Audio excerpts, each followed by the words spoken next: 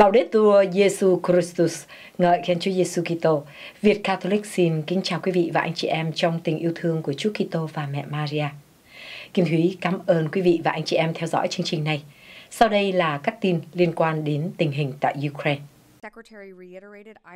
Ukraine để mắt đến món quà chia tay trị giá 6 tỷ đô la từ Tổng thống Joe Biden. Phó thư ký báo chí ngũ giác đài Sabrina Sykes cho biết trong cuộc họp báo hôm thứ Năm, Ukraine sẽ nhận được 6 tỷ đô la viện trợ quân sự từ chính quyền Tổng thống Biden trước khi Tổng thống đắc cử Donald Trump bắt đầu nhiệm kỳ thứ hai. Ukraine sẽ nhận được 4 tỷ đô la theo quyền hỗ trợ của Tổng thống gọi tắt là PDA đã cam kết trước đó và 2 tỷ đô la từ sáng kiến hỗ trợ an ninh Ukraine gọi tắt là USAI trước khi Tổng thống đắc cử Donald Trump nhậm chức vào ngày 20 tháng Giêng năm 2025. Theo Reuters, việc cung cấp thêm viện trợ quân sự cho Ukraine diễn ra sau lo ngại rằng cựu Tổng thống sẽ ngừng hỗ trợ cho Ukraine sau khi ông trở lại Tòa Bạch Ốc. Newsweek đã liên hệ với Phó Thư ký báo chí Tòa Bạch Ốc và chiến dịch tranh cử của Tổng thống đắc cử Donald Trump qua email để xin bình luận ngoài giờ làm việc. Khoản viện trợ quân sự trị giá 4 tỷ đô la từ PDA bao gồm việc rút vũ khí khỏi kho vũ khí của Hoa Kỳ. Khi được hỏi liệu Hoa Kỳ có đủ vũ khí để làm như vậy không, sẽ cho biết Chính quyền Tổng thống Biden đã chuẩn bị cho việc này bằng cách liên tục dự trữ và lấp đầy các kệ hàng và tự tin sẽ thực hiện được những cam kết đó với Ukraine. Khi được hỏi chính quyền sẽ làm gì để hỗ trợ Ukraine trong 73 ngày trước khi chính quyền mới bắt đầu, Sạch cho biết, Chúng tôi luôn xem xét các năng lực mà Ukraine cần trên chiến trường mà các chiến binh Ukraine có thể tạo ra tác động và sẽ tạo ra sự khác biệt lớn nhất. Cô cho biết chúng tôi sẽ tiếp tục làm việc mỗi ngày.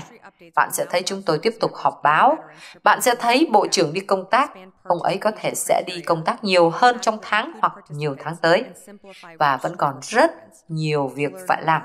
Và mỗi ngày chúng tôi đều có quân đội đồn trú trên khắp thế giới tham gia vào nhiều hoạt động khác nhau. Chúng tôi sẽ tiếp tục hỗ trợ Ukraine.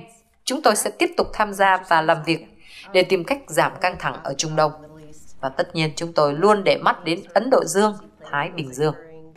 Tổng thống đắc cử Donald Trump trước đây đã nói rằng ông sẽ chấm dứt chiến tranh ở Ukraine trong vòng 24 giờ và dường như đã ám chỉ rằng ông sẽ làm như vậy thay vì tiếp tục cung cấp viện trợ cho Ukraine như chính quyền Tổng thống Biden đã làm.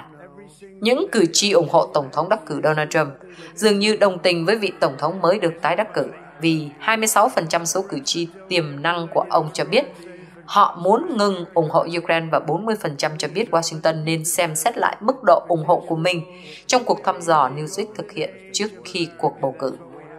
Việc chính quyền Tổng thống Biden tiếp tục cung cấp viện trợ cho Ukraine diễn ra sau gói viện trợ quân sự trị giá 425 triệu đô la cho Ukraine được công bố vào ngày 1 tháng 11 bao gồm máy bay đánh chặn phòng không, đạn dược cho hệ thống hỏa tiễn và pháo binh, xe thiết giáp và vũ khí chống tăng.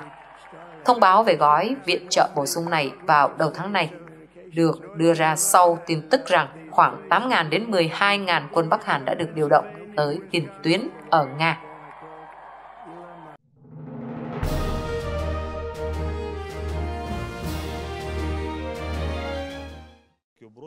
Máy bay điều khiển từ xa của Ukraine tấn công nhà máy hóa chất ở Tula của Nga, gây hỏa hoạn lớn và những tiếng nổ long trời.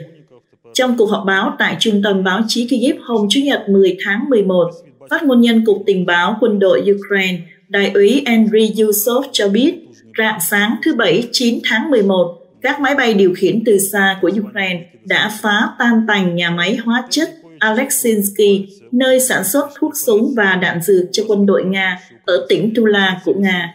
Ông cho biết có ít nhất 13 máy bay điều khiển từ xa đã đâm thẳng vào nhà máy trong đêm và khói màu cam bốc lên do thuốc súng tại địa điểm này.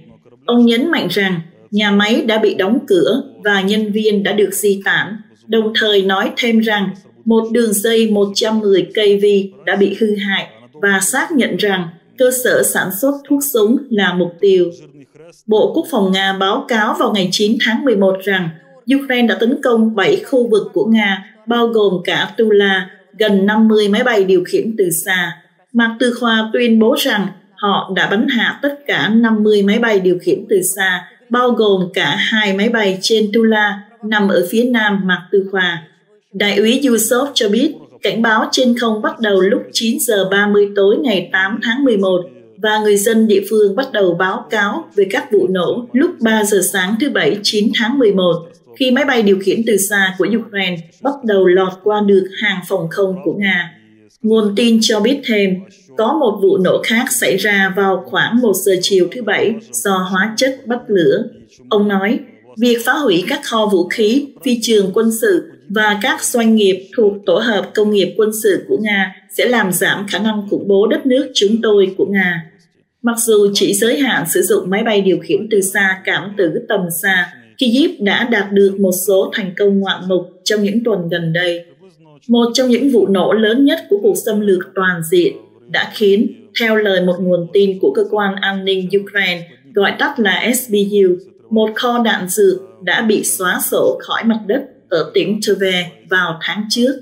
Sự việc này xảy ra chỉ vài ngày sau khi Ukraine xác nhận các cuộc tấn công vào hai kho vũ khí khác, với Bộ Quốc phòng Anh cho biết các cuộc tấn công kết hợp đã gây ra thiệt hại đạn dược lớn nhất ở nga trong cuộc chiến toàn diện chống lại Ukraine.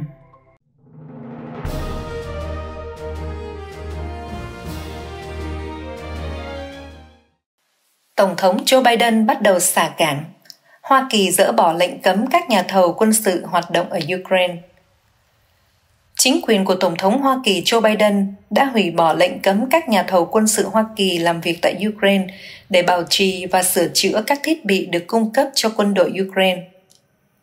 Tòa Bạch Ốc đã đưa ra quyết định về hoạt động của nhà thầu tại Ukraine vào đầu tháng 11 trước cuộc bầu cử Tổng thống Hoa Kỳ Quyết định này sẽ cho phép ngũ giác đài trao hợp đồng cho các tập đoàn Hoa Kỳ để hoạt động tại Ukraine, lần đầu tiên kể từ khi cuộc xâm lược toàn diện của Nga bắt đầu vào năm 2022.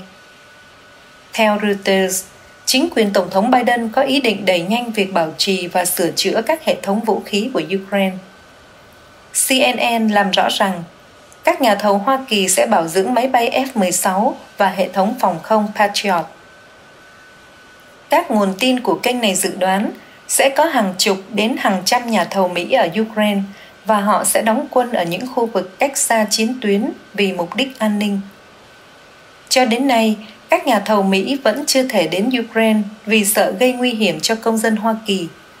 Và do đó, các thiết bị cần sửa chữa sẽ được vận chuyển đến các nước láng giềng như Ba Lan hoặc Romania. Điều đáng chú ý là việc nới lỏng lệnh hạn chế đối với các nhà thầu của ngũ giác đài Hoa Kỳ làm việc tại Ukraine đã được công bố vào mùa hè năm 2024, nhưng cuối cùng ý tưởng này đã bị hủy bỏ.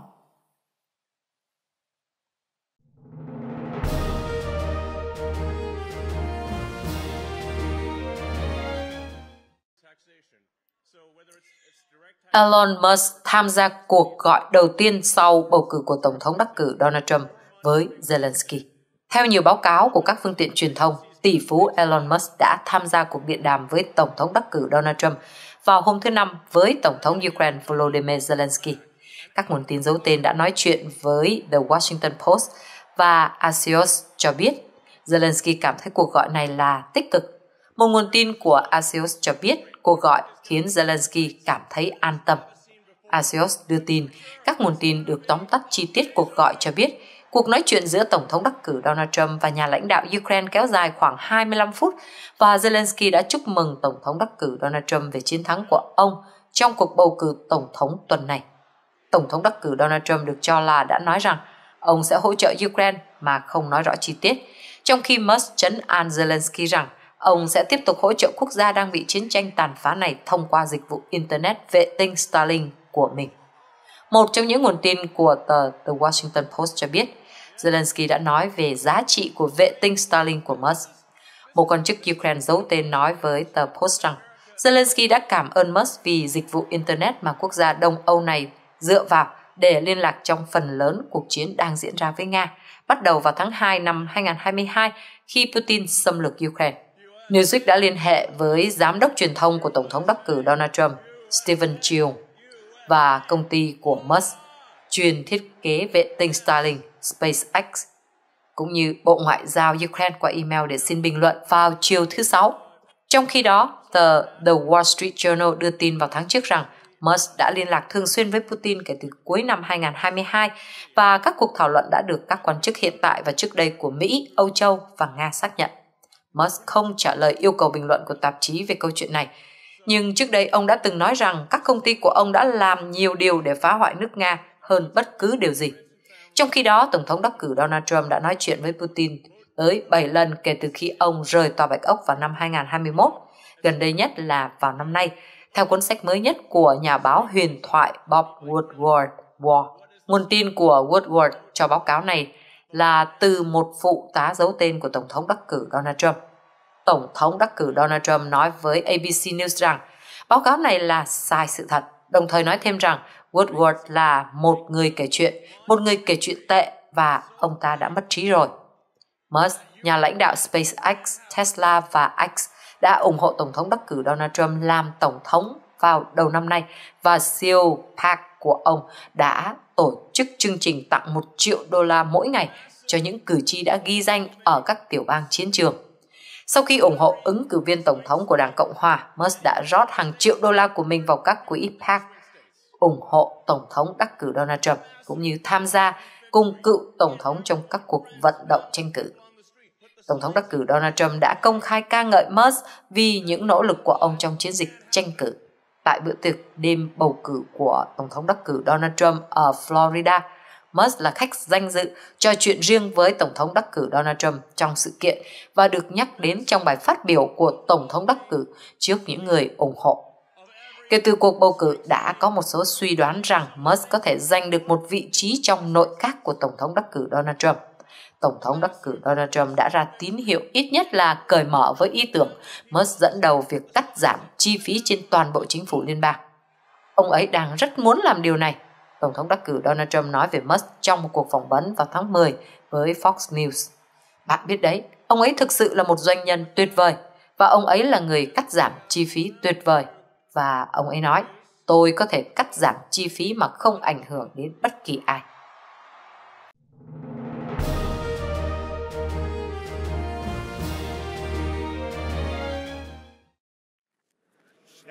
Máy bay điều khiển từ xa của Nga tấn công nhà riêng của đại sứ quốc gia NATO tại Ukraine.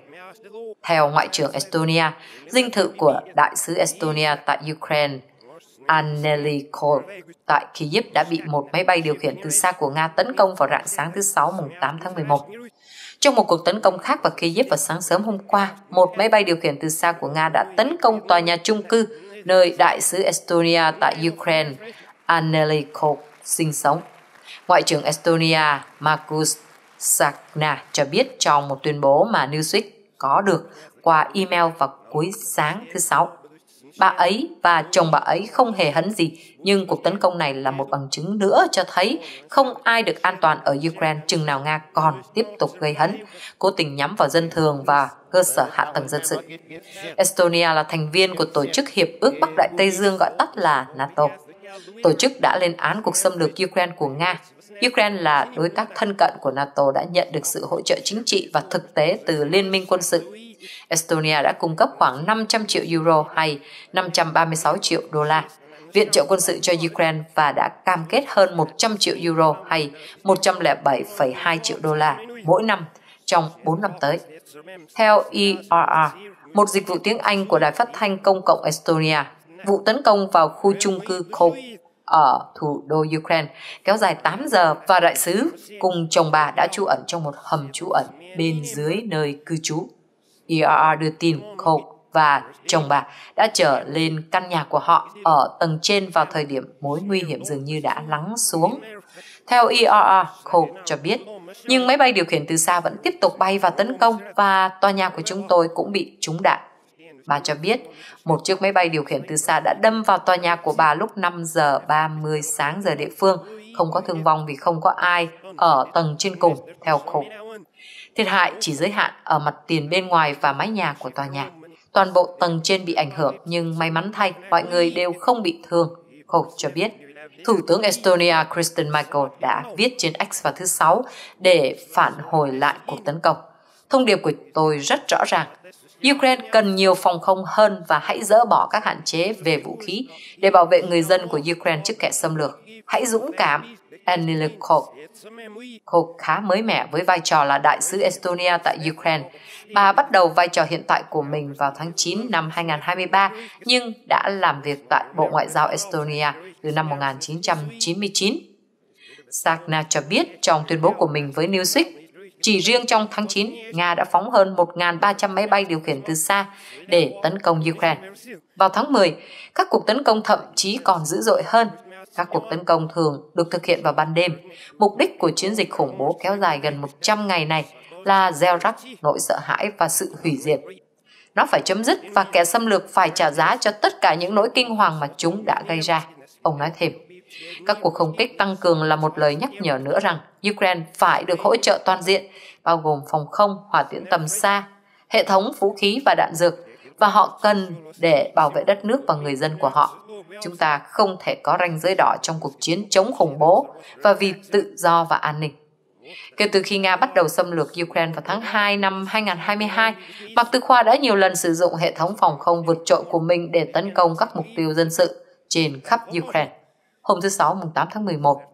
Các quan chức Ukraine đã báo cáo các cuộc không kích ban đêm của Nga nhắm vào ba khu vực của Ukraine.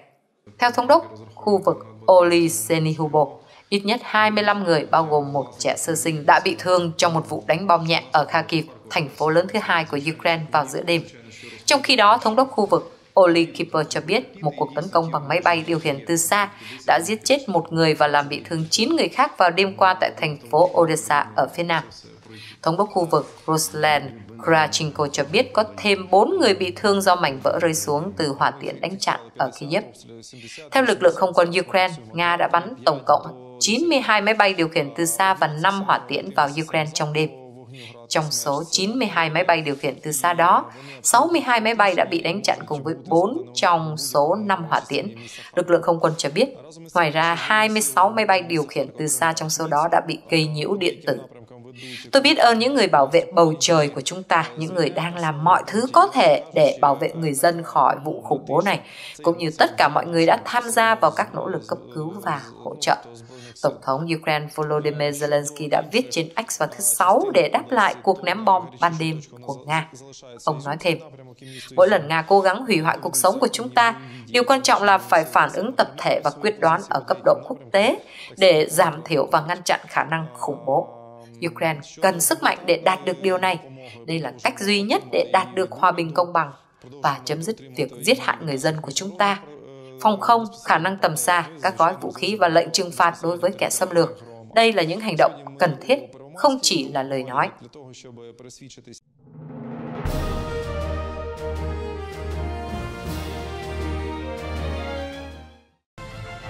Cập nhật về chiến tranh Ukraine, hàng ngàn người Bắc Hàn tràn vào Nga. Dữ liệu từ cơ quan an ninh Liên bang Nga gọi tắt là FSB tiết lộ rằng người Bắc Hàn đang tràn vào Nga trong bối cảnh có thông tin về việc binh lính Bắc Hàn tham gia cuộc chiến của Nga chống lại Ukraine. Đầu tuần này, Trung tâm chống thông tin sai lệch của Ukraine đã xác nhận rằng quân đội Ukraine đã giao tranh với binh lính Bắc Hàn Tình báo quân sự Ukraine báo cáo rằng 12.000 binh lính, 500 sĩ quan và 3 vị tướng từ Bắc Hàn đã được điều động tới Nga. Theo dữ liệu trên trang web biên giới FSB, được hãng truyền thông độc lập của Nga Mediazona tìm thấy, số lượng người Bắc Hàn nhập cảnh vào Nga trong quý 3 năm 2024 đạt mức chưa từng có. Dữ liệu cho thấy từ tháng 7 đến tháng 9, 3.765 người Bắc Hàn đã đến Nga để du học. Để so sánh, trước đại dịch chỉ có 3.200 người Bắc Hàn ở Nga. Tuy nhiên, số lượng hạn ngạch giáo dục dành cho người Bắc Hàn ở Nga là thấp. Theo Bộ Giáo dục Nga, hiện chỉ có 130 sinh viên từ Bắc Hàn đang học tập tại Nga. Hôm thứ Hai, giữa lúc có các báo cáo cho biết quân đội Bắc Hàn đã tham gia lực lượng Nga, Phát ngôn nhân Bộ Ngoại giao Hoa Kỳ Matthew Miller đã nói với các phóng viên rằng có 10.000 binh lính Bắc Hàn ở khu vực Kursk đang chuẩn bị tham gia cuộc chiến của Mạc Tư Khoa. Vào cuối tháng 10, tình báo quân sự Nam Hàn cho biết quân đội Bắc Hàn đã bị gọi nhập ngũ đến khu vực Kursk. Bắc Hàn không phủ nhận các cáo buộc. Thay vào đó, Bình Nhưỡng cho biết bất kỳ quân đội Bắc Hàn nào được gửi đến Nga đều sẽ tuân thủ luật pháp quốc tế nếu có điều gì đó mà truyền thông thế giới đang nói đến, tôi nghĩ đó sẽ là một hành động tuân thủ các quy định của luật pháp quốc tế. Rõ ràng sẽ có những thế lực muốn mô tả nó là bất hợp pháp, tôi nghĩ vậy. Thứ trưởng Ngoại giao Bắc Hàn Kim Trung Khuê trước đó đã nói trong một tuyên bố. Lực lượng Ukraine đã phát động một cuộc tấn công vào khu vực Kursk vào tháng 8 năm 2024 như một phần trong chiến dịch đẩy lùi quân sự của họ trước cuộc xâm lược Ukraine của Nga bắt đầu vào tháng 2 năm 2022. Phát biểu với tờ Newsweek đầu tuần này về tác động của quân đội Bắc Hàn tại Nga, Andrew Yeo, thành viên cao cấp tại Trung tâm Nghiên cứu Chính sách Á Châu thuộc Viện Brookings cho biết, quân đội Bắc Hàn sẽ mang lại sự hỗ trợ ngay lập tức cho Nga chỉ nhờ vào việc tăng cường nhân lực của Nga trên tuyến đầu. Yeo nói thêm rằng quân đội Bắc Hàn có thể hữu ích với Nga bằng cách giúp đẩy lùi lực lượng Ukraine ra khỏi khu vực Kursk. Tuy nhiên, tình báo Nam Hàn cảnh báo rằng quân đội Bắc Hàn có thể gặp khó khăn do thiếu hiểu biết về quy trình quân sự trong cuộc chiến của Nga. Cơ quan tình báo Nam Hàn cho biết, cuộc chiến đang được tiến hành dưới hình thức chiến đấu bằng máy bay điều khiển từ xa, nhưng quân đội Bắc Hàn không được cung cấp máy bay điều khiển từ xa và không được huấn luyện phù hợp. Vì vậy chúng tôi dự đoán sẽ có thiệt hại đáng kể.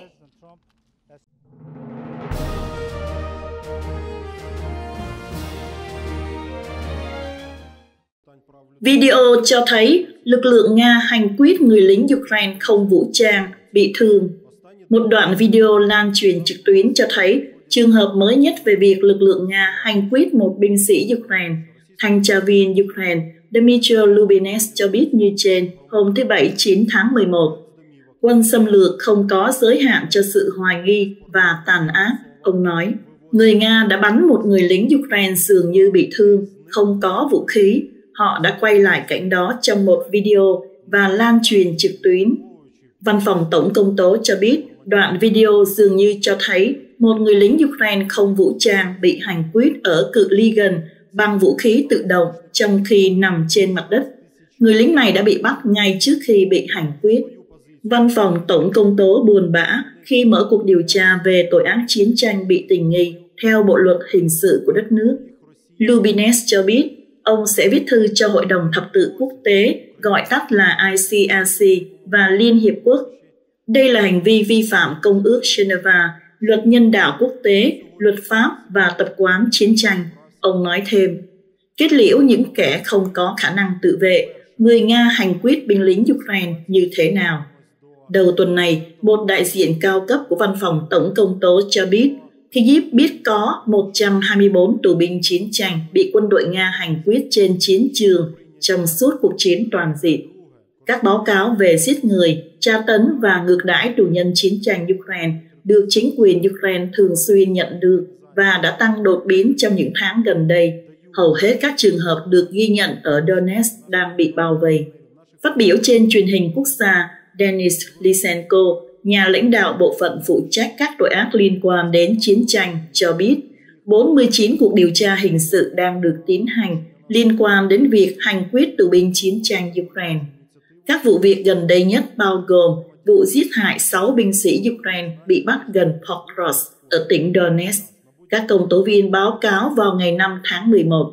Lysenko cho biết, chúng tôi hiện đang phân tích tất cả các trường hợp này, tìm kiếm các mô hình Chúng tôi đang xem xét tất cả các trường hợp này một cách toàn diện và tất nhiên, sự tham gia của một đơn vị vũ trang cụ thể sẽ được phân tích trong từng trường hợp.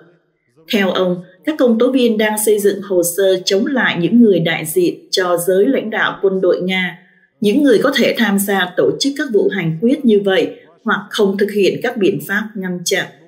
Cựu Tổng công tố viên Andriy Kostin gọi việc giết hại quân nhân Ukraine khi bị giam cầm là một chính sách có chủ đích của Nga. Khoảng 80% các vụ hành quyết tù binh chiến tranh Ukraine được ghi nhận vào năm 2024, nhưng xu hướng này bắt đầu xuất hiện vào tháng 11 năm 2023 khi thái độ của quân nhân Nga đối với tù nhân chiến tranh của chúng tôi thay đổi theo chiều hướng xấu đi. Yuri Belusov, đại diện cao cấp của văn phòng Tổng công tố cho biết.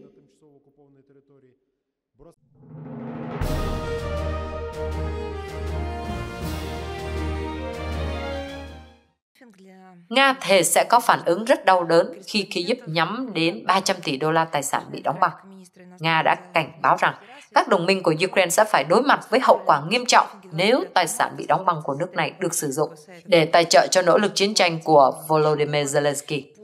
Ngay sau khi Mạc Tư Khoa phát động cuộc xâm lược toàn diện vào tháng 2 năm 2022, các thành viên của G7 đã đóng băng khoảng 300 tỷ đô la tài sản của Ngân hàng Trung ương Nga được nắm giữ tại các tổ chức tài chính ở nước ngoài. Các đồng minh của Ukraine kể từ đó đã tranh luận về việc có nên chiếm đoạt những tài sản này để cung cấp thêm hỗ trợ tài chính và quân sự cho quốc gia này hay không. Nhưng vụ tịch thu này đã bị Nga lên án rộng rãi là hành vi trộm cắp. Zelensky đã cầu xin Liên hiệp Âu Châu trả lại 300 tỷ đô la tài sản của Nga. Liên minh Âu Châu cho biết điều này sẽ kết thúc như thế nào đối với họ.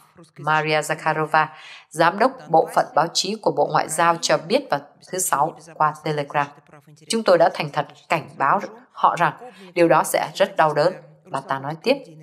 Những phát biểu của bà được đưa ra để đáp lại yêu cầu gần đây của Tổng thống Ukraine về việc các đồng minh Âu Châu rút tiền, trong bối cảnh có nhiều đồn đoán rằng chiến thắng của ông Donald Trump trong cuộc bầu cử Tổng thống có thể gây nguy hiểm cho sự ủng hộ của Hoa Kỳ, là người ủng hộ quan trọng nhất của Kiev. Mọi người đều nói bạn sẽ làm gì nếu Tổng thống đắc cử Donald Trump không hỗ trợ bạn về mặt tài chính? Bạn sẽ lấy vũ khí ở đâu? Bạn sẽ tự vệ như thế nào? Zelensky phát biểu vào thứ Năm tại một cuộc họp báo sau khi tham gia hội nghị thượng đỉnh Cộng đồng Chính trị Âu Châu tại Budapest, theo như Ukrainian National News và các hãng thông tấn khác đưa tin. Tôi trả lời bạn, chúng tôi có thể lấy 300 tỷ của chúng tôi không? Chúng tôi có thể lấy 300 tỷ hỗ trợ người dân của chúng tôi và mua vũ khí ở tất cả các quốc gia trên thế giới bằng số tiền này không? Chúng tôi có thể tự quyết định loại vũ khí nào chúng tôi cần không? Chúng tôi có thể tự quyết định cách sử dụng số tiền này không? Liên minh Âu Châu đã bật đèn xanh cho kế hoạch cung cấp cho Ukraine khoản vay 35 tỷ euro, tức khoảng 39 tỷ đô la. Khoản vay này sẽ được hoàn trả bằng lợi nhuận bất ngờ từ các tài sản bị tịch thu của Nga. Zelensky cho biết, lời kêu gọi của ông về việc trưng dụng toàn bộ 300 tỷ đô la là có cơ sở vì Nga đã phá hủy Ukraine với số tiền khoảng 800 tỷ đô la và rằng giờ đây gánh nặng đưa ra quyết định thuộc về các quốc gia Âu Châu bất kể lập trường thay đổi của Mỹ về cuộc xung đột. Hãy đưa ra quyết định mạnh mẽ và trao cho chúng tôi số tiền này và chúng tôi vẫn sẽ để nó ở Âu Châu vì chúng tôi sẽ mua vũ khí. Zelensky nói, chúng tôi cũng sẽ chi tiêu cho việc sản xuất vũ khí của riêng mình và rẻ hơn. Trong bài đăng trên Telegram vào thứ Sáu, phát ngôn nhân Bộ Ngoại giao Nga cho rằng Ukraine có thể sử dụng nguồn dự trữ tài sản bị đánh cắp của chính mình. Có lẽ người Ukraine nên tịch thu tài sản của Zelensky và gia đình ông ta, Zakharova nói. Tin tôi đi, không có gì ít hơn thế đâu. Bà nói thêm, trước khi cáo buộc một số thành viên trong giới tinh hoa chính trị của đất nước, bao gồm cựu Tổng thống Petro Poroshenko và nhà tài phiệt tỷ phú Iho Kolomoisky là những tên trộm khiến nhà nước Ukraine sụp đổ.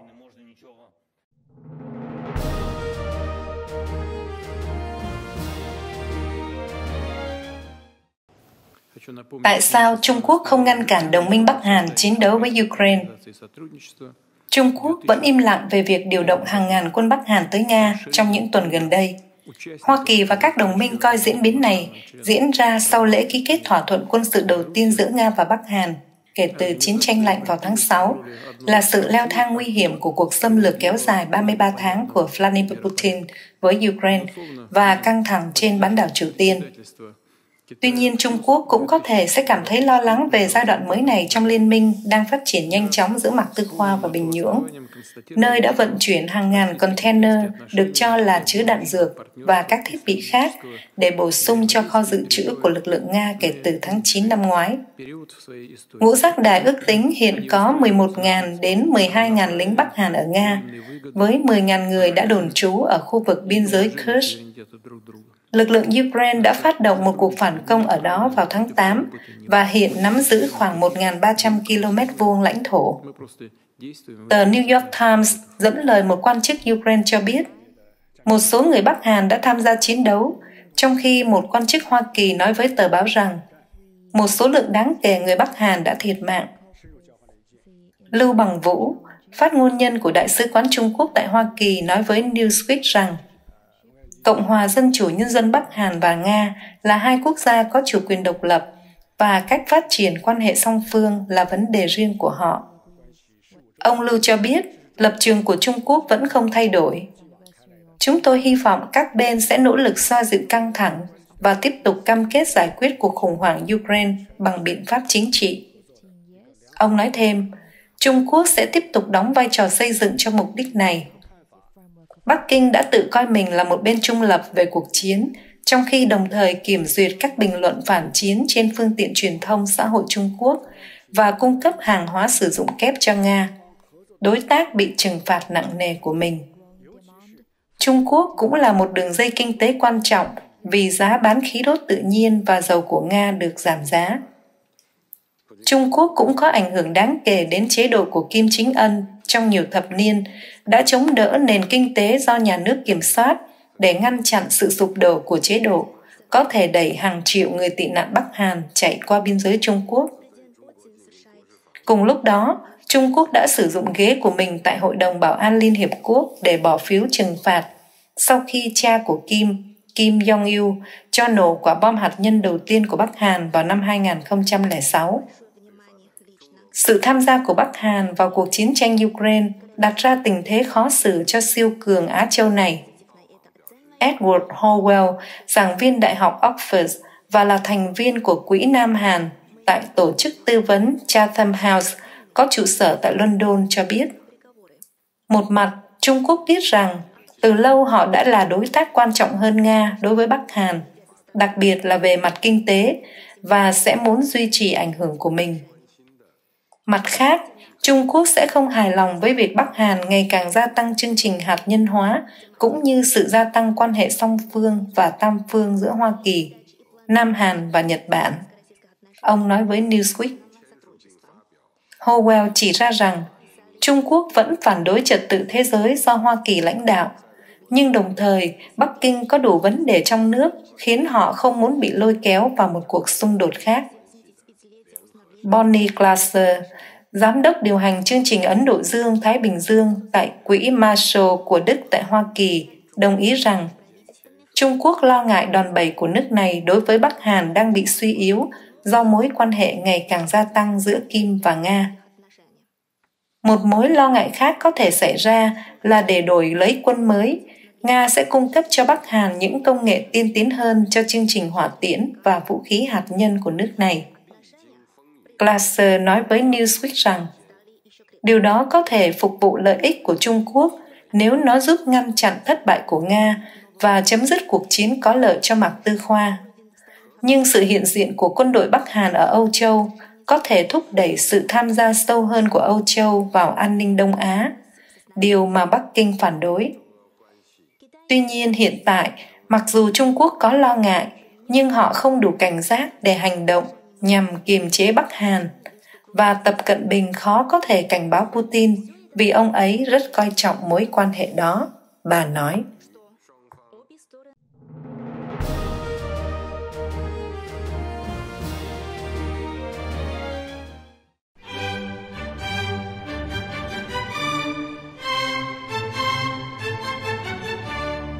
Chương trình của chúng tôi đến đây là hết. Xin quý vị và anh chị em thêm lời cầu nguyện cho anh chị em Ukraine đang trải qua những giờ khắc thử thách và khó khăn. Và xin cầu nguyện cho linh hồn những người của cả hai bên đã thiệt mạng trong cuộc chiến.